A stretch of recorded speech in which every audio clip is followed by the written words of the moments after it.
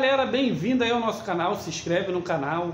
Estamos passando na, na barra de 8.200 inscritos, graças a vocês. Vocês fazem a diferença.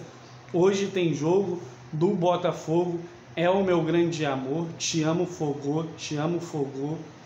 É, Botafogo tem um jogo importantíssimo, não só por ser primeira fase da Copa do Brasil, também financeiramente.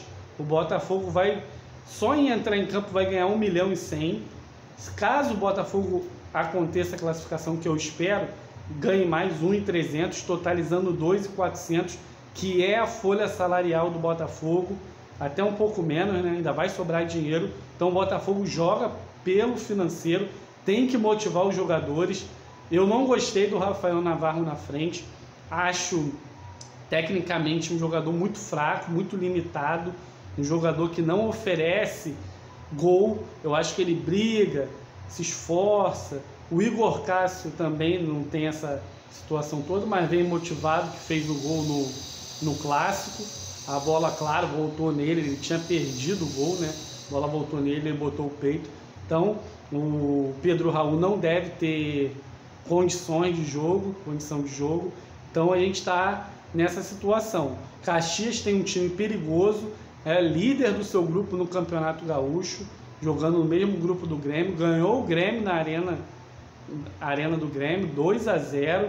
O Ivan é seu principal jogador, lateral esquerdo, então bota lateral direito. Então o Botafogo tem que se cuidar, o Botafogo tem que jogar com atenção, tem que fazer seu melhor jogo do ano, porque ainda não jogou. Botafogo vem fazendo jogos muito, muito ruins é, a gente vê o jogo contra o Macaé não foi bem, deu chance para o Macaé. Contra o Resende, pior ainda.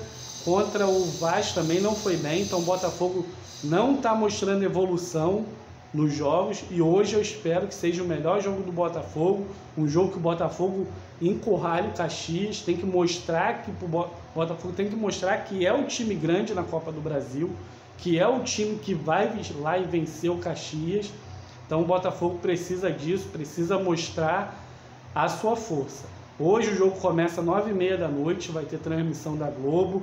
A gente tem que acompanhar, valendo muito dinheiro. A Copa do Brasil é hoje o campeonato que mais paga. Só nessa primeira fase, como eu falei, 2 milhões e 400 já é uma folha salarial do Botafogo.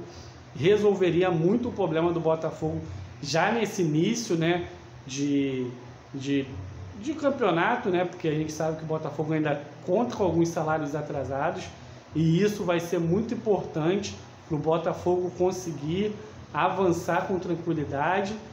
Os próximos jogos também não é uma tabela tão difícil, então o Botafogo tem que tratar a Copa do Brasil como um dos principais campeonatos para conseguir alguma coisa. Ah, não tem elenco para ganhar título. A gente não sabe como vai funcionar a a Botafogo SA. A gente não sabe como esses jogadores vão se encaixar. Eu só quero que o Alberto Valentim dê um padrão de jogo, dê algo que o Botafogo ainda não tem para a gente tentar sonhar.